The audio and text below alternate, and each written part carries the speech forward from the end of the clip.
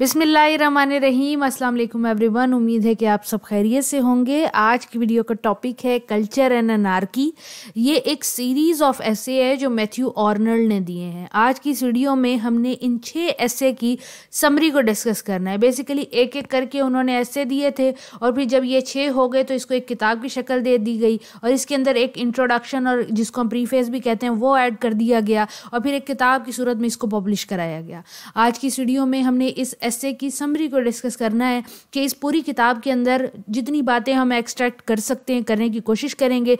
ज़्यादातर ये west culture और स्पेसिफिकली इंग्लैंड के अंदर जो विक्टोरियन एरा आया था, उस टाइम पीरियड का इसका ज़िक्र किया गया है। इसके अंदर कल्चर और नार्की के बारे में बताया गया है। यानी कि मॉडर्न टाइम पीरियड का इससे कोई ताल्लुक नहीं है और ना ही हमारी लाइफ के ऊपर, यानी कि वेस्ट के ईस्ट के ऊपर ये कोई अप्लाई होता है। तो ये वेस्ट की बातें हैं। आप सुनने की कोशिश करें, समझने की कोशिश करें।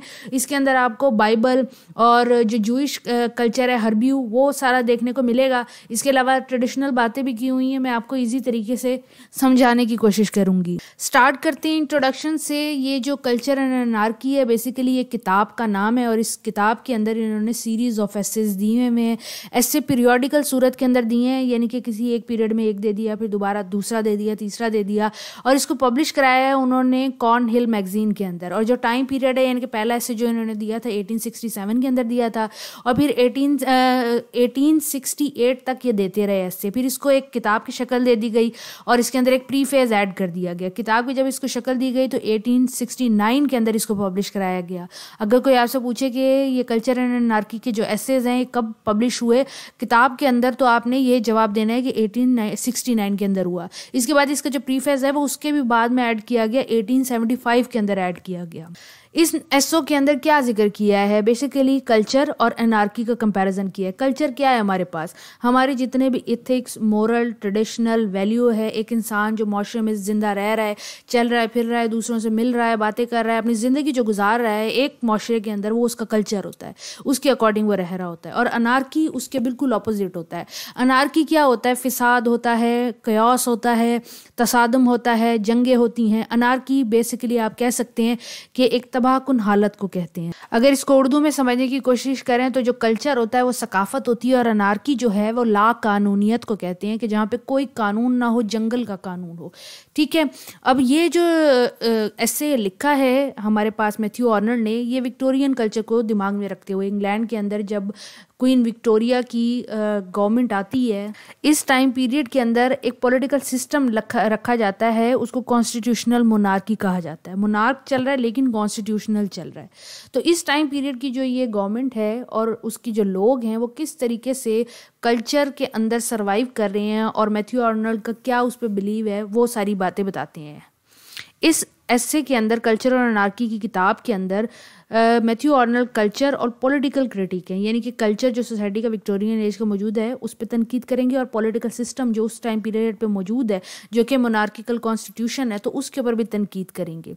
और बताएँगे कि किस तरीके से इंग्लैंड के अंदर जो कल्चर और पॉलिटिकल सिस्टम है, उस टाइम पीरियड के अंदर उसमें क्या फ्लॉज हैं, क्या उसमें बेहतरी आ सकती है। मैथ्यू ऑर्नल डिफरेंट तबकों के बारे में बात करते हैं डिफरेंट तबकों के कल्चर और सोसाइटी के बारे में बात करते हैं। इंग्लैंड के अंदर जो पॉलिटिकल और सोशल अप्रेस चल रहा है अनरेस्ट चल रहा है, उस बारे में ज़िक्र करते हैं। इसके अलावा लोग किस तरीके से सिविलाइज्ड हो रहे हैं, किस तरीके से सोफिस्टिकेटेड हो रहे हैं, किस तरीके से वो बारबेरियन हो रहे हैं, किस तरीके से अनस्टेबिलिटी आ रही है, ये सारी बात डिटेल में इस पूरी किताब के अंदर वो डिस्कस करते हैं। अगर इस किताब का खाका देखें तो सबसे पहले प्रीफेस आता है प्रीमेबल आता है। प्रीफेस और प्रीमेबल का मतलब होता है इंट्रोडक्शन जिसके अंदर वो बताते हैं बेसिकली कि कल्चर है क्या मैथ्यू ऑर्नल्ड इसकी डेफिनेशन देते हैं। उसके बाद चैप्टर वन आता है। उसके अंदर स्वीटनेस एंड लाइट का ज़िक्र करते हैं। स्वीटनेस और लाइट वो किसको कहते हैं? स्वीटनेस बेसिकली वो सर्च फॉर ब्यूटी को कहते हैं और लाइट सर्च फॉर नॉलेज को कहते हैं। उसके बाद चैप्टर सेकंड आता है जिसमें वो कहता है डूइंग्स एज वन लाइक यानी कि जो जो चाहे करे, जो जो जिसकी मर्ज़ी है वो करे, और इसको वो अनारकी का नाम देते हैं। उसके बाद चैप्टर थर्ड का ज़िक्र करते हैं, जिसमें वो इंग्लैंड की तीन क्लासेस का ज़िक्र करते हैं। जैसे कि कार्ल मार्क्स ने तीन क्लास दी थी एलिट क्लास दी थी, उसने उसके बाद प्रोलिट्रेट दिया और उसने बॉजियस क्लास दिया, यानी कि अपर क्लास मिडिल क्लास और लोअर क्लास दिया। इसी तरह ये अपर क्लास बारबेरियन को कहते हैं एलिट क्लास उसके बाद फिलिस्टाइनियन जो है वो मिडिल क्लास है, और जो वर्किंग क्लास है उसको पोपोलेस कहते हैं। यानी कि ये जो नाम है इन्होंने तीनों, ये हरब्यू जबान से लिए हैं। उसके बाद वो जब चौथा चैप्टर आता है तो उसके अंदर हर्बेरियनिज्म का ज़िक्र करते हैं, जो हरब्यू जबान का लफ्ज़ है। और इसके अंदर हरब्यू जो जूश लोग जिस कल्चर को फॉलो करते हैं, उसका ज़िक्र करते हैं, उसका कंपेरिजन करते हैं हेलेनिज्म से। Hellenism Greek time period classic time period की एक सोच थी, एक आइडियोलॉजी थी। तो दो कल्चर का आपस में तजाद करते हैं और बताते हैं कि किसको इंग्लैंड में नाफिज करना चाहिए, किस चीज़ की ज़रूरत है। उसके अलावा लेटन ज़बान की एक कोटेशन लिखते हैं, जिसका नाम है पोरो उमनम ईस्ट नेसेसरेरियनम। इसका मतलब वो बताते हैं कि फर्दर इलेबरेट करते हैं कि हर्बेरियनिज्म और हेलेनिज्म किस तरीके से हिस्ट्री में रहा है और कौन कौन से फिगर इसके अंदर आए और इनके असरात कैसे रहे डिफरेंट सोसाइटी के ऊपर। उसके बाद चैप्टर सिक्स जो लगे लास्ट है, वो लिबरल लोगों का ज़िक्र करते हैं, जो लिबरलिज्म को प्रैक्टिशनर हैं, यानी कि वो प्रैक्टिस करते हैं आज की सोसाइटी के अंदर। यानी कि मौजूदा सोसाइटी के अंदर उस टाइम पीरियड में विक्टोरियन एज में जो लिबरल लोग थे, उनके नाम ये छठा चैप्टर करते हैं। तो ये इनकी कुल किताब है। अब डिटेल में थोड़ा सा समरी को डिस्कस करने की कोशिश करते हैं। इसके अंदर ज़्यादातर याद रखें कि वेस्ट की बातें की गई हैं, हमारे कल्चर की नहीं की गई। तो थोड़ा सा आपको समझने में मुश्किल होगी, दूसरी बात ये कि बाइबल का ज़िक्र किया गया है। तो वो भी थोड़ा समझने के लिए मुश्किल होता है। जो पहला चैप्टर है, जिसका नाम है स्वीटनेस एंड लाइट ये जॉनथन स्विफ्ट के एक वर्क से लिया गया है और स्वीटनेस जोनाथन स्विफ्ट के अकॉर्डिंग सच फॉर ब्यूटी है, यानी कि माशरे के अंदर जो खूबसूरती है, उसको स्वीटनेस कहा गया है और लाइट कहा गया है, माशरे के अंदर जो नॉलेज है। और दोनों चीज़ें ही इंग्लैंड के लोगों के लिए मैथ्यू ऑर्नल कहते हैं कि ज़रूरी है। जैसे ही चैप्टर स्टार्ट होता है तो क्या होता है कि फंडामेंटल कॉन्सेप्ट दिया जाता है। मैथ्यू ऑर्नल बताते हैं कि कल्चर की डेफिनेशन क्या है। उनके परस्पेक्टिव में कल्चर क्या होता है। तो वो सबसे पहले तो ये कहते हैं कि सोसाइटी जो है, वो कॉन्टीन्यूसली मूविंग और चेंजिंग है। हमारा ये आइडिया कि सोसाइटी जो एक जैसी रहती है गलत है। सदियों से लेकर अब तक देख लें सोसाइटी मुसलसल चेंज ही हो रही है और सोसाइटी क्यों चेंज हो रही है ताकि वो परफेक्शन हासिल कर सके? हर बंदा परफेक्शन की तरफ़ कहने का मकसद ये है कि जो सोसाइटी है वो इंडिविजुअल से, यानी कि लोगों से बनी और लोग क्या हो रहे हैं? मुसलसल चेंज हो रहे हैं। क्यों चेंज हो रहे हैं? क्योंकि वो कामयाबी पे कामयाबी कामयाबी पे कामयाबी हासिल करना चाह रहे हैं, यानी कि परफेक्शन हासिल करना चाह रहे हैं। तो मैथ्यू अर्नल कहते हैं कि परफेक्शन तो कभी किसी को हासिल हो ही नहीं सकता। जब परफेक्शन कभी किसी को हासिल हो ही नहीं सकता तो ये तो एक ख्याल है कि सोसाइटी के अंदर परफेक्शन आ सकता है। तो हम ये भी कह सकते हैं कि जब लोगों को परफेक्शन नहीं मिलता, नहीं होता तो जो सोसाइटी जिस चीज़ पे, जो बैकबोन जिस पे चल रही है, जिसको हम कल्चर कहते हैं तो वो मुसलसल चेंज होने वाला है। जैसे सोसाइटी कॉन्टीन्यूसली चेंज हो रही है एक सिचुएशन से दूसरी सिचुएशन में तो उसकी जो बैकबोन कल्चर है, वो भी मुसलसल चेंज हो रहा है एक सिचुएशन से दूसरी सिचुएशन में। क्योंकि कल्चर क्या है? कोड ऑफ़ कंडक्ट है ट्रेडिशन है लॉ है इथिक्स है मोरल है, जो सोसाइटी को गवर्न करने में, लोगों को चलाने में मदद करती हैं। तो कल्चर बेसिकली क्या है? आप कह लें कि सोल ऑफ़ सोसाइटी है। फिर फर्दर जो मैथ्यू ऑर्नर्ड है, वो बताते हैं कि जो परफेक्शन है, उनकी नज़र में वो क्या है? और फिर वो बताते हैं कि कैसे और क्यों कर एक कल्चर जो है, वो ट्रू कल्चर बनता है। वो कहते हैं, सोसाइटी के अंदर बहुत सारे कल्चर मौजूद होते हैं, ज़रूरी नहीं है सारे सही हों। तो जो कल्चर परफेक्शन की तरफ़ दौड़ना चाह रहा है परफेक्शन हासिल करना चाह रहा है, वो कल्चर ट्रू कल्चर है। वो बताते हैं कि एक ट्रू कल्चर क्या होता है, यानी कि कल्चर की डेफिनेशन देते हैं, फिर वो ट्रू कल्चर की देते हैं। वो कहते हैं ट्रू कल्चर जो है, वो वो कल्चर है जो दो चीज़ों पे काम करे। एक सोसाइटी के अंदर जो मौजूद इंडिविजुअल हैं अलग अलग बंदे पे काम करे और एक ग्रुप ऑफ़ कम्युनिटी यानी कि ह्यूमन काइंड के ऊपर भी वर्क करे। लार्ज स्केल में, यानी कि सोसाइटी, अच्छी सोसाइटी वो है, जो एक इनफरादी कुत का भी इनफरादी इंसान का भी ख्याल रखे और पूरे माशरे का भी ख्याल रखे। और वो फर्दर बताते हैं कि जो विक्टोरियन इंग्लैंड मौजूद है, वो अपसेस हो चुका है मटेरियलिज्म के साथ और इंडस्ट्रियलाइजेशन के साथ कि वो अपना कल्चर भूल गया है। निगलेक्ट कर रहा है कल्चर को, यानी कि इंडिविजुअल को और ह्यूमनिज्म को निगलेक्ट कर रहा है। उसके बाद वो बताते हैं कि एक जो इंग्लिश मैन है, जो एक अंग्रेज़ मौजूद है, वो लिबर्टी लिबर्टी का ज़िक्र करता है। लिबर्टी बेसिकली वो आज़ादी नहीं है लिबर्टी उसका सेल्फिश प्रस्यूट है। यानी कि वो जो अपनी मादा परस्ती, मेरे पास गाड़ी हो, मेरे पास घर हो, उसको फ्रीडम कह रहा है, उसको लिबर्टी कह रहा है और ये ट्रू कल्चर नहीं है। तो वो लास्ट में ये कहते हैं कि हमें जो परस्यू करना चाहिए ट्रू कल्चर के लिए वो स्वीटनेस और लाइट है। Again sweetness is search for beauty and light is search for knowledge है। सेकेंड चैप्टर स्टार्ट होता है डूइंग एज वन लाइक यहाँ पे मैथ्यू ऑनर से भी इस चीज़ का ज़िक्र करते हैं कि विक्टोरियन टाइम पीरियड के अंदर जब वो ये ऐसे लिख रहे थे तो इंडस्ट्रियलाइजेशन बहुत ज़्यादा थी और मेटेरियलिज्म बहुत था। तो वो कहते हैं कि ये हार्मफुल है और इसने पूरी नेशन को तबाह किया नेशन की साइकोलॉजी को तबाह किया है। बेसिकली अनारकी पैदा की है। वो कहते हैं डूइंग एज वन लाइक यानी कि जिसका जो दिल आए वो करे, ये बेसिकली क्या है? अनारकी है और कुछ भी नहीं है। और ये क्या है? ये इंडिविजुअलिज्म को फोकस नहीं करता या ह्यूमनिज्म को फोकस नहीं करता, ये सिर्फ़ तबाही और बर्बादी लेके आने वाला है। इसके अंदर वो अनारकी का कॉन्सेप्ट देते हैं। जो थर्ड चैप्टर आता है, उसके अंदर वो बारबेरियन फिलिस्टाइनियन और पोलियस लोगों का ज़िक्र करते हैं। मैथ्यू आर्नल्ड क्या कहते हैं कि इंग्लिश जो लोग हैं, यानी कि विक्टोरियन एज के अंदर सोसाइटी जो मौजूद है, उसके अंदर तीन सेक्शन है। बारबेरियन है, जिनको वो एरेस्टोक्रेसी कहते हैं। बारबेरियन बेसिकली वो लोग होते हैं जो अनसिविलाइज हों, जो इंसानों को इंसान खा जाए। तो उसको बारबेरियन कहते हैं।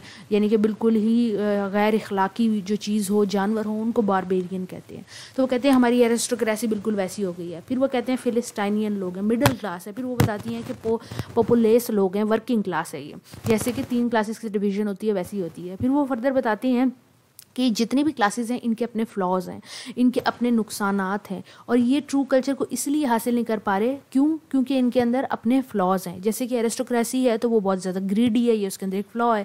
उसके अंदर वो बताते हैं मिडिल क्लास है, वो मिडिल क्लास है तो वो स्टूपिड है। फिर वो कहते हैं वर्किंग क्लास है तो वो वर्क बहुत अच्छा करती है, लेकिन अगेन वो स्टूपिड है। तो वो बताते हैं कि ट्रू कल्चर क्यों हासिल नहीं कर पा रहे? और वो फर्दर कहते हैं कि अगर इन पूरी तीनों क्लासेस के अंदर कोई भी ऐसा बंदा हो जो कामयाब हो सक्सेसफुल हो या दूसरों से हटके हो तो वो बिलीवर होगा कल्चर का।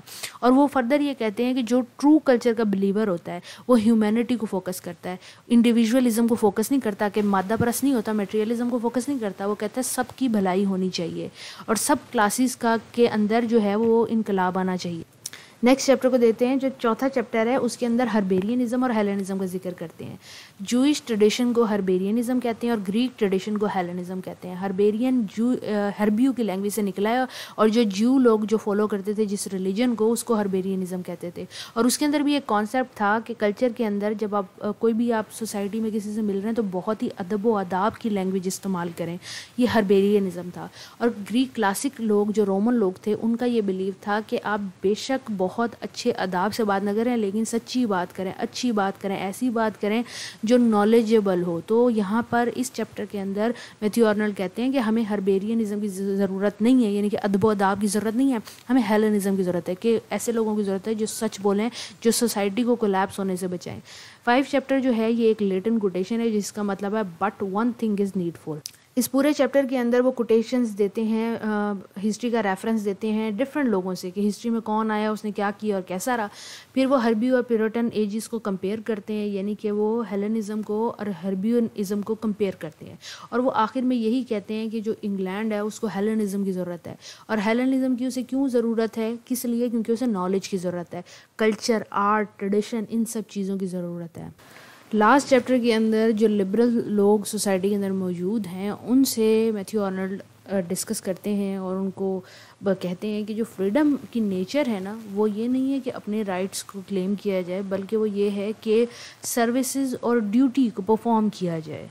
और एंड के चैप्टर में वो ये बताते भी हैं कि ट्रू परफेक्शन ट्रू कल्चर जो है, वो बाहर की दुनिया में नहीं है, बल्कि इंसान के अपने अंदर है। मैथ्यू ऑर्नल फोकस करते हैं कि अगर एक इंसान अपने ऊपर काम करे, अपनी ज़ात पे काम करे, अपने आप को अंदर से अच्छा इथिकर, मॉरल बनाए तो वो एक अच्छी सोसाइटी भी बना सकता है और वो एक अच्छा इंडिविजुअल भी बन सकता है, जिसको हम परफेक्ट इंडिविजुअल और परफेक्ट सोसाइटी कह सकते हैं, जिसको हम ट्रू कल्चर और ट्रू इंडिविजुअल भी कह सकते हैं। मैथ्यू ऑर्नल कहते हैं कि इस वक्त सोसाइटी विक्टोरियन एज के अंदर इनजस्टिस मौजूद है, जैसे कि वर्किंग क्लास को उसके राइट नहीं मिल रहे लेकिन वो ये कहते हैं कि अगर आप रेडिकल चेंज चाहेंगे, यानी कि फौरी तब्दीली आ जाए और आप यूँ करें कि प्रोटेस्ट करें या लड़ाई झगड़ा करें और ऐसी चीज़ें करें, जैसे कि एहतजाज करना तो मैथ्यू ऑर्नल इस चीज़ के हक में नहीं है। वो कहते हैं कि इस तरीके से चेंज चेंज नहीं आता, आप अप एक एक बंदा इनफरादी तौर पे अपने आप को चेंज करना स्टार्ट करे। एक जो कल्चर वो चाहता है, उसके अकॉर्डिंग अपने आप को चेंज करना स्टार्ट करे। अपनी सो, जिस सोसाइटी की वो तो रखता है, उस सोसाइटी के अकॉर्डिंग अपने आप को चेंज करना शुरू करे। तो कई साल गुजरने के बाद ग्रेजुअल चेंज आएगा सोसाइटी के अंदर भी और उस बंदे के अंदर भी। जैसा कि ट्रू कल्चर का वो कोई भी बंदा सोच रखता है, बस उस हिसाब से अपने आप को चेंज करना शुरू कर दो। और आने वाले वक्तों में तुम वो सोसाइटी को अचीव भी कर लोगे। लास्ट के अंदर मैथ्यू ऑर्नल यही कहते हैं कि मैं जो पॉलिटिकल पार्टीज़ के लिए जो जितने भी एक्टिविस्ट हैं, जब वो दंगा फसाद करते हैं तो मैं इसको स्ट्रिक्टली फॉरबिडन करता हूँ, इसको सख्ती से मना करता हूँ। और मेरा ख्याल ये है कि एक ट्रू कल्चर का जो बिलीवर होता है, वो पब्लिकली स्पीच से ज़्यादा पब्लिकली एक्टिविटी से ज़्यादा ऑब्ज़र्व करना पसंद करता है। और वो ऑब्ज़र्व करना पसंद करता है, वो ऑब्ज़ॉर्व करना पसंद करता है। और फिर वो रिफ्लेक्ट करता है ट्रू कल्चर को और इस तरह से बातें ख़त्म हुआ करती हैं। ये पूरा इनकी ये किताब थी। छोटी सी समरी मैंने आपको बयान करने की कोशिश की है। कोई भी आपका सवाल हो तो आप मुझसे पूछ सकते हैं। उम्मीद है कि आपको इनकी ये जो बुक है सीरीज़ ऐसे है, ये आपको समझ आ गया होगा। इसको और भी डिटेल में पढ़ने की ज़रूरत है। अगर पढ़ने वाले पढ़ना चाहें तो मेरे ख्याल से मकसद क्लियर हो गया है कि वो कल्चर किसको समझते हैं और अनारकी वो किस चीज़ को समझते हैं। उम्मीद है कि वीडियो आपको समझ आ गई होगी। क्लास के साथ लाजमी शेयर करें। नोट्स जो हैं वो वीडियो के डिस्क्रिप्शन बॉक्स से आपको मिल जाएँगे। वीडियो के डिस्क्रिप्शन बॉक्स में पीडीएफ का लिंक दिया हुआ होता है। जब आप उस लिंक पर क्लिक करेंगे या मेरी वेबसाइट पर चले जाएँगे। वहाँ से नोट्स पी आप डाउनलोड कर सकते हैं। अल्लाह हाफिज़।